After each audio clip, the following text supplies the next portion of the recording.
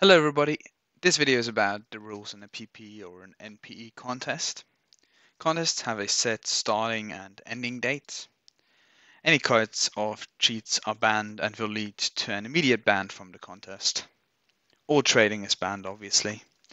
In an NPE contest there's also a ban on any kinds of pets, regardless of their abilities.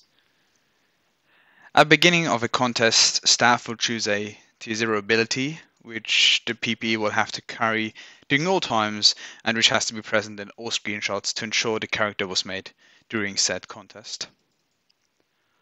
All achievements have different point values which vary from class to class and can be found in a table which is available to the public. Every achievement is counted once. Fame is counted at death and is the last achievement you submit. If your character is still alive on the last day of the contest, you may submit Death Fame without your character dying through a menu screenshot, but you won't be allowed to submit another character after that.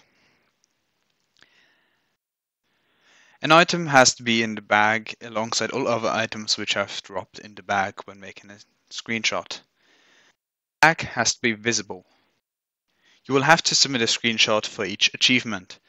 In case of suspicion, we might ask for video evidence though, so please record your PP if possible.